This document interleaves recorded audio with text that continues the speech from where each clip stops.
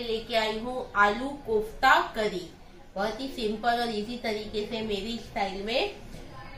तो जैसे कि बहुत लोगों का ये प्रॉब्लम होता है कि हमारे कोफ्ते टूट जाते हैं बिखर जाते हैं बनते नहीं है। तो आज मैं आप लोगों को बताऊँगी कैसे हम घर में कोफ्ता परफेक्ट बना सकते बनाएँगे। है ना? हाँ। तो चलिए सबसे पहले मैं क्या करूँगी मैं आज मटन कोफ्ता बना रही हूँ। अगर आपको चिकन में बनाना है तो आप मुझे कमेंट में कीजिए। कमेंट कीजिए तो मैं आपको चिकन में बनाना भी बताऊँगी। तो चलिए बनाना स्टार्ट करते हैं।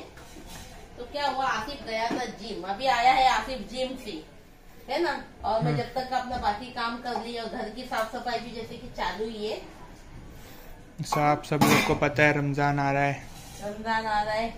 दिखा ना दिखा ना इधर फ्रिज फ्रिज सबसे पहले फ्रिज देखो। कल अम्मी ने फ्रिज साफ़ किए। अगर आप लोग इंस्टाग्राम पे देखे रहे स्टोरी पे। हाँ स्टोरी पे। ये देखिए। मैंने वीडियो नहीं बनाई फ्रिज साफ़ करने बनाए ना पहले अफरोज रेसिपी ब्लॉग पे बनाए। इसके लिए नहीं बनाई मैंने ना। अभी मुझे पूरा राशन वगैरह भरा भराना बाकी है। अभी आज किचन की थोड़ी सफ़ाई होने वाली है बोली पहले मैं खाना पका लेती हूँ उसके बाद में किचन को साफ़ करूँगी। तो ये है हमारा टॉयलेट एकदम नीट एंड क्लीन कैसे दिख रहा है? साफ़ दिख रहा है ना एकदम साफ़ दिख रहा है। माशाल्लाह। एकदम सफ़ाई तो पूछो ही मत हमारे घर में। अभी ये सब कपड़े पड़े हुए धोने के अब ये सब लोगों ने सुबह नहाए, जुम्मा है ना, नहा नहा के सब कपड़े निकाल के इधर ही फेंक के जाते हैं। फिर मैं उसके उठा के तो फेंक के अंदर रखती हूँ। तो ये अंदर का बेडरूम और ये है बाथरूम। बाथरूम भी एकदम अच्छा है मगर अभी थोड़ा फेंकना है साफ़ तो कल कर दी थी हम्म। है ना मस्त एकदम। तो चलिए ज़्यादा बातें नहीं करते हुए हम अभी रेसिपी बनाना स्टार्ट करते हैं क्योंकि लाइट लाइट चालू करो। लाइट लाइट कर लाइट दोनों? कर चालू हाँ। बस। चलिए आ जाइए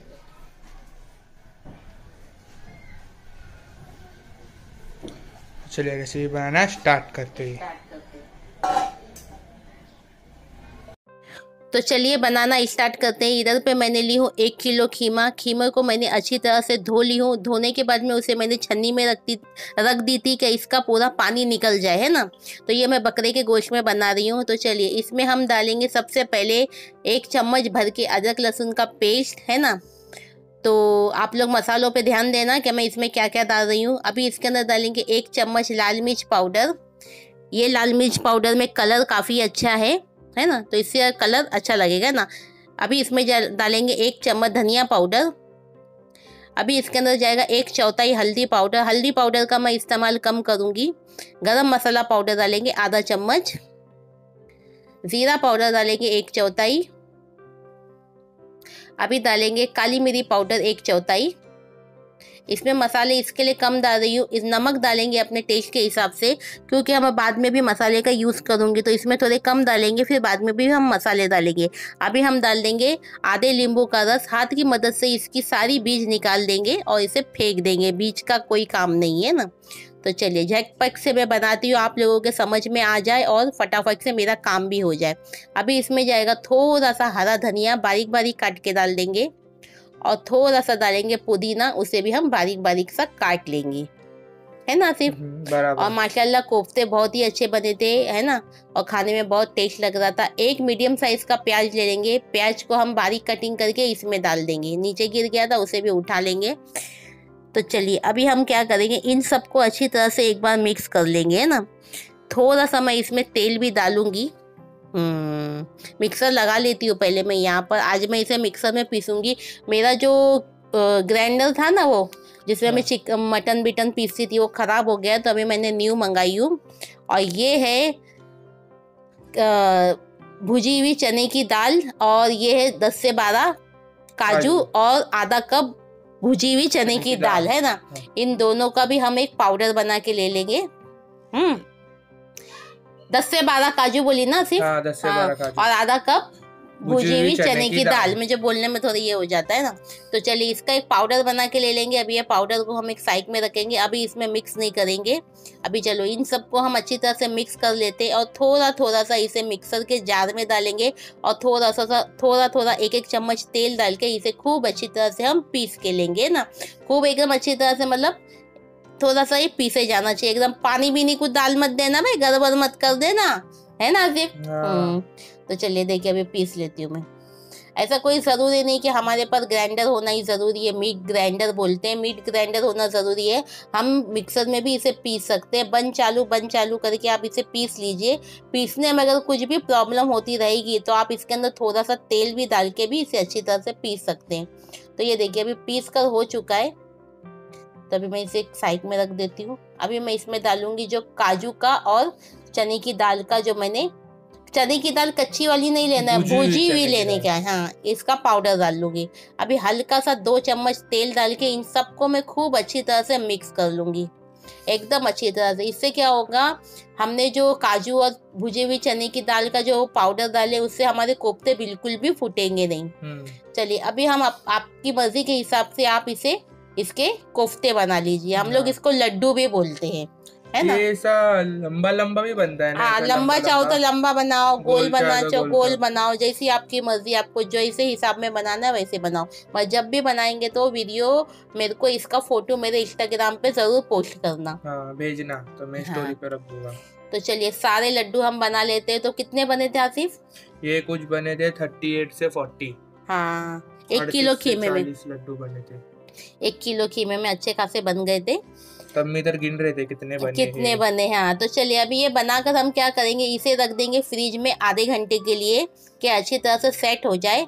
उसके बाद में हम इसका मसाला रेडी करेंगे है ना? तो मसाला तो मैंने रेडी करके रख चुकी हूँ एक साइड में। यहाँ पर मैं अभी निकाल लूँगी नहीं बिरिस्ता बनाई हूँ है ना? बना लिए। बिरिस्ता बना के रख ली थी। हाँ, जो टोप में मैं बिरिस्ता बनाई थी उसी टोप में मैंने कोफ्ते भी फ्राई करके ली। तो ये देखिए, अगर आपको एकदम प्रॉपर बिरिस्ता कैसे बनाते देखना है तो मेरे अफरोज किचन पे मौजूद है, आप देख सकते हैं। तो चलिए, अभी बिरिस्ता फ्राई हो चुका है। अभी उसी टोप में मैं कोफ्ते भी फ्राई कर लूँगी। तो ये जो टोप में मैं जो आज ग्रेवी बना रही हूँ ये मैंने अजमेर से लेके आई हूँ। हम्म, अजमेर का टोप है। दो लिए थे ये छोटा है इससे हाँ, बड़ा वाला इससे बड़ा एक है जिसमें पाँच लीटर पाँच किलो बिरयानी बनेगी। और ये एक किलो का है। हम्म, तो चलिए गैस को मीडियम पे रखेंगे और आधे आधे करके कोफ्ते हम फ्राई कर लेंगे। ये देखिए कोफ्ते में जब भी फ्राई कर रही हूँ तो भी हमारे कोफ्ते फूट रहे नहीं है और अच्छी तरह से फ्राई होके बाहर निकल रहे है। ना? हाँ। तो चलिए सारे कोफ्ते हम हल्के से गोल्डन कलर के हो जाएँगे तो इसे निकाल लेंगे। और इसी तेल में हम इसका बघार भी रेडी करेंगे सारा है ना? तो चलिए इसमें थोड़ा तेल ज़्यादा था तो मैंने थोड़ा सा तेल कम कर ली। यहाँ पर मैं ढूंढ रही हूँ चम्मच मुझे चम्मच वगैरह मिल रहा नहीं था।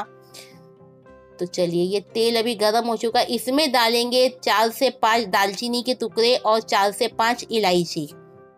ये हल्का सा तड़कने लगेगा तो इसमें डालेंगे तीन मीडियम साइज़ की टमाटर का पेस्ट बना के हम इसमें डाल देंगे। प्यूरी। टमाटर प्यूरी। और माशाल्लाह टमाटर में कलर इतना अच्छा था देखिए एक मस्त कलर हो गया। और हमारी ग्रेवी का भी कलर बहुत ही अच्छा आया था। अभी जाएगा दो चम्मच अदरक लहसुन का पेस्ट। मस्त एकदम अच्छे से वाटी को साफ़ करके डालिए कुछ भी वेस्ट मत कीजिए। एक चम्मच भर के हम लाल मिर्ची पाउडर डालेंगे। एक चम्मच भर के हम धनिया पाउडर डालेंगे। एक चौथाई हल्दी पाउडर डालेंगे। वाटी को साफ़ कीजिए। हम्म। अभी हम इसके अंदर डालेंगे आधा चम्मच गरम मसाला पाउडर। आधा चम्मच जीरा पाउडर। एक चौथाई काली मिरी पाउडर। बराबर? बराबर। अभी नमक आप अपने टेस्ट के हिसाब से डालिए जितना आपको पसंद है उतना आप डाल सकते हैं। चलिए है ना? अभी ये सब डालने के बाद में हम इसे मिक्स कर लेंगे अच्छी तरह से और इसे दो से तीन मिनट तक हम भून लेंगे। भूनने के बाद में बाकी का सामान हम इसमें डालेंगे। तो चलिए भूनने के बाद मैं मिलती हूँ। और जैसे कि बीच बीच में मेरे घर में सफ़ाई भी चालू है जैसे कि रमज़ान की है ना सिर्फ़। हाँ। मुझे थोड़ी मिर्ची कम लग रही थी क्योंकि हम लोग तीखा थोड़ा ज़्यादा खाते हैं तो इसके लिए मैंने इसके अंदर और एक चम्मच मिर्ची भर के डाली। अगर तीखा आप लोग खाते हैं कि नहीं खाते मुझे कमेंट बॉक्स में बताना। हम लोगों को ना थोड़ा चटपटा सा खाना ना, खाना बहुत ही अच्छा लगता है। हल्का सा पानी डाल लेंगे और खूब अच्छी तरह से इसे पीस लेंगे। तो चलिए, दूसरा मसाला रेडी कर लेते हैं। यहाँ पर जो मैंने तीन बिरिस्ता, तीन प्याज ली थी, तीन प्याज का मैंने बिरिस्ता बना के रखी थी, उसे मैं डाल लूँगी मिक्सर की वाटी में, जार में। और एक दस रुपये का दही का डब्बा मंगाई हूँ मैंने। है ना देव हाँ। दही मुझे घर में जमाने के लिए टाइम ही नहीं मिल रहा इसलिए बाहर से मंगा के मैं काम चला रही हूँ। और दस रुपए का दही का डब्बा मैं सारा इसके अंदर डाल दूँगी। ये देखिए ना ये सारा मैं इसमें डाल दी। अभी इसका एक फाइन पेस्ट बना के मैं रेडी कर लूँगी। इसी से हमारी ग्रेवी ग्रेवी अच्छी तरह से रेडी होगी। जैसे कि ठीक होगी घट होगी है ना? तो ये देखिए मस्त कलर भी अच्छी तरह से आ चुका है। चलो इसे पीस लेते हैं। हम्म।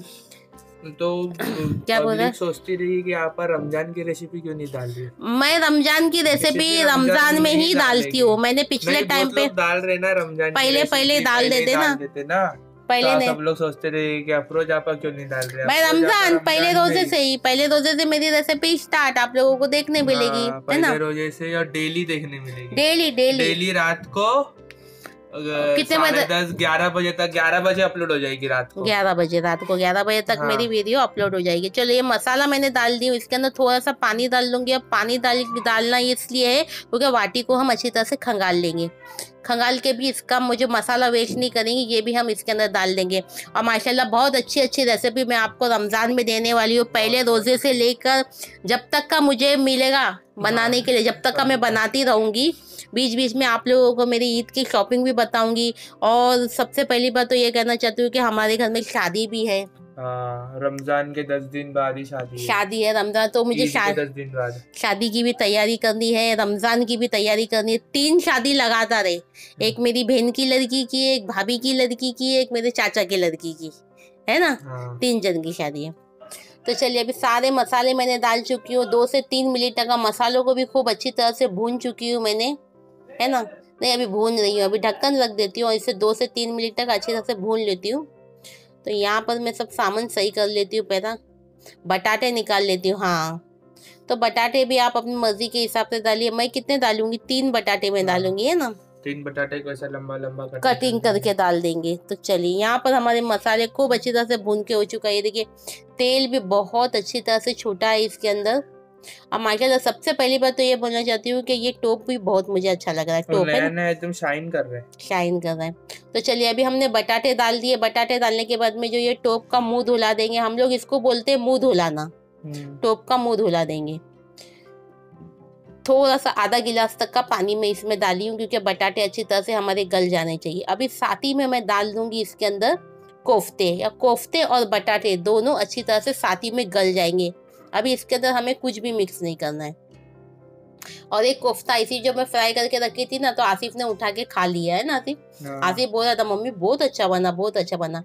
और आपको अगर पूरे कोफ्ते नहीं डालना है तो आधे कोफ्ते आप डाल के और आधे कोफ्ते भी ऐसे फ्रिज में भी रख सकते हैं। और कभी भी अगर आपका दिल हुआ बना के खाने के लिए तो इस कोफ्ते को आप बनाकर फिर से ग्रेवी में खा सकते हैं। हम्म, आपको ग्रेवी बनाना पड़ेगा ग्रेवी बना- बनाना नहीं पड़ेगा। बनाना नहीं पड़ेगा है ना? तो चलिए अभी कोफ्ते डालने के बाद में मैं इसमें थोड़ा सा पानी डाल लूँगी और इन सबको खूब अच्छी तरह से मिक्स कर लूँगी। देखिए मैं चम्मच भी मार रही हूँ तो भी हमारे कोफ्ते फूट रहे नहीं है। अगर आप लोग के कोफ्ते फूटते हैं तो इस तरह बना के देखिए। हाँ एक बार बना के देखिए आपको समझ में आ जाए। नहीं फूटेंगे। नहीं फूटेंगे। तो चलिए अभी हम इसे क्या करेंगे? कम से कम पाँच से दस मिनट तक का इसे खूब अच्छी तरह से पका लेंगे कि हमारे बटाटे अच्छी तरह से गल जाए और थोड़ी बहुत जो कोफ्ते की कसर है वो भी अच्छी तरह से गल जाए। चलिए आइए चेक करते हैं।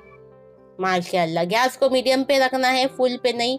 तेल भी अच्छी तरह से छोटा है, कोफ्ते भी माशाल्लाह बहुत ही अच्छी तरह से बनकर रेडी हुए हैं। कैसी लगेगी आपको मेरी रेसिपी मुझे कमेंट बॉक्स में ज़रूर बताना। अभी ऊपर से क्या करूँगी, मैं ऊपर से डालूँगी थोड़ा सा हरा धनिया काट के। हरा धनिया डालने से देखना इसका मतलब लुक ही चेंज हो जाएगा। और ये ठंडा होने के बाद में जब इसके ऊपर तरी छूटेगी ये देखिए मस्त है ना? तो बहुत ही बेहतरीन लगेगा। तो कैसे लग रहा है आपको बाद में? मुझे बता देना।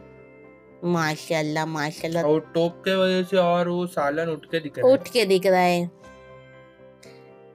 तो चलिए अभी बिस्मिल्लाह बोलती हूँ। और हम लोग सब लोग को खाने का भी था काफ़ी टाइम हो गया था। चार बज गए थे दोपहर का ही खाना खाने के लिए। हम्म, तो ये देखिए माशाल्लाह कोफ्ते का सालन कितना बेहतरीन लग रहा है। आज मैंने इसे डिश आउट नहीं की क्योंकि मेरा बिल्कुल भी दिल नहीं हो रहा था। मैं डिश आउट करके दिखाओ मुझे ऐसे ही अच्छा बहुत अच्छा लग रहा था टोप में है ना? हम्म, तो इसीलिए मैंने आज आप लोगों को टोप में ही दिखाई। आपको भी देखने के लिए टोप में अच्छा लगेगा। ये देखिए कोफ्ते वाह! कलर कितना अच्छा है। कलर देखिए कितना अच्छा है ना? देखिए कोफ्ते एक भी फूटे नहीं हमारे एक कोफ्ता फूटा नहीं था हमारा। चलिए अभी मैं थोड़ा सा आपको प्लेट में लेके बताती हूँ खाकर एक नहीं वाला। हम्म, तो ये देखिए बटाटे भी गल चुके हैं और ये चावल के साथ में खाइए रोटी के साथ में खाइए नान के साथ में खाइए या पराठे के साथ में खाइए ये बहुत ही बेहतरीन लगता है खाने में। ऊपर से थोड़ा सा मैं डाल लूँगी हरा धनिया और डालूँगी आधा प्याज ले लूँगी और इसके ऊपर काकड़ी भी ले लूँगी और इसके ऊपर डालूँगी नींबू आ हा हा और खा के रोटी से बताऊँगी। मैंने तो रोटी से भी खाई तो बहुत अच्छा लग रहा था। चावल से भी माशाल्लाह बहुत अच्छा लग रहा था। हम लोग का जैसी रेसिपी शूट हो जाती है वैसी हम लोग खाने बैठ जाते हैं। हाँ, तो चलिए बिस्मिल्लाह बोलकर खाते हैं। हम्म, कोफ्ता भी कितना सॉफ्ट सॉफ्ट बनाए देखिए ना? एकदम गल गया गल गया बिस्मिल्लाह। आप लोग भी आ जाइए खाने के लिए। हम्म, हा हा चलो अल्लाह हाफिज। दुआ में याद रखना इस तरह की अच्छी अच्छी रेसिपी की वीडियो देखने के लिए मेरे यूट्यूब चैनल को लाइक कीजिए शेयर कीजिए सब्सक्राइब कीजिए। फिर मिलती हूँ आपको एक अच्छी से अच्छी रेसिपी के साथ में। जब तक के लिए अल्लाह हाफिज। दुआ में याद रखना। हम्म, और कुछ? कोफ्ता एकदम मस्त बना मस्त बना। तेरे को पसंद आया था नाते मस्त था एक नंबर था। एक नंबर था। मम्मी तो हमेशा बन ये तभी खाया था। अच्छे ही बनाती हूँ ना मैं? हाँ मैं अल्लाह